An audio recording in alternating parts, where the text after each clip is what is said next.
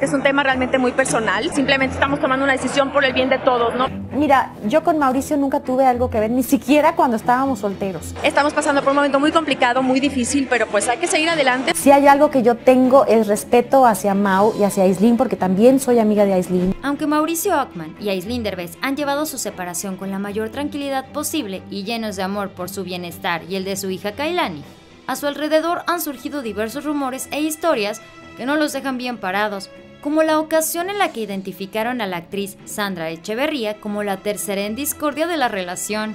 Él es el más cool del mundo y es el más relajado y a él le valen dos pepinos. A unos meses de distancia, Echeverría explicó las razones que la llevaron a sentirse bastante por el surgimiento de esta versión, cómo tomó su marido esta noticia y detalló la increíble relación que tiene con la expareja que ahora radica en los Estados Unidos. Me decía, ay amor, no los ni los peles, hombre, lo que quieren es que te enganches y que te peles con ellos. La actriz y cantante de 35 años de edad se sinceró con la periodista Mara Patricia Castañeda, a quien le explicó cómo sobrellevó aquel escándalo que vaya que tomó fuerza en muchas redes sociales y medios de comunicación. Yo sí me enganché, la verdad, y, y me mucho porque si hay algo que yo tengo es respeto. Ella añadió que los rumores también le inconformaron por el matrimonio que tenía con Leonardo de Lozane. Sobre esto, Sandra comentó, no se vale porque yo estaba en mi casa con mi marido y era muy feliz.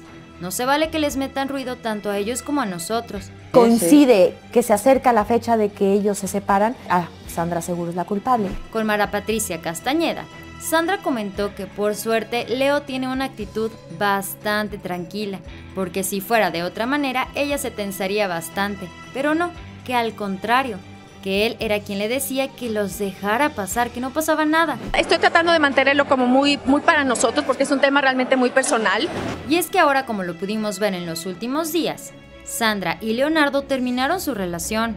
Sandra Echeverría, a través de un podcast, mencionó que ellos simplemente dejaron de ser incompatibles, pero que al final de cuentas tienen una muy buena relación. Sobre todo por, por, por, uno mismo, por el hijo y porque también hay mucho amor en la relación. En marzo de este año, cuando el rumor de un romance extramarital entre Sandra Echeverría y Mauricio Ockman corrió con gran fuerza, la primera en pronunciarse fue la actriz, quien contundentemente aseguró que un romance con su compañero por varios años no era cierto. Ella se fue en contra del medio de comunicación Suelta la Sopa de Telemundo, porque en dicho espacio hicieron amplia promoción de este amorío. Yo crecí con unos papás divorciados que se llevan de maravilla y yo quisiera que mi hijo también creciera igual. Y aunque Leonardo de Lozane nunca ha mencionado absolutamente nada acerca de esto, Mauricio Ockman sí se pronunció y detalló que la relación que mantiene con Echeverría desde que trabajaron juntos por primera vez es muy buena. Sobre esto, Ockman comentó, la verdad es que yo a Sandra Echeverría la quiero muchísimo. Nos conocemos desde hace muchos años y nos ha tocado trabajar en muchas cosas y somos muy amigos. Yo la admiro muchísimo como artista y como ser humano. Sí, o sea, la verdad es que hay amor, es una historia bonita, ha sido una buena relación.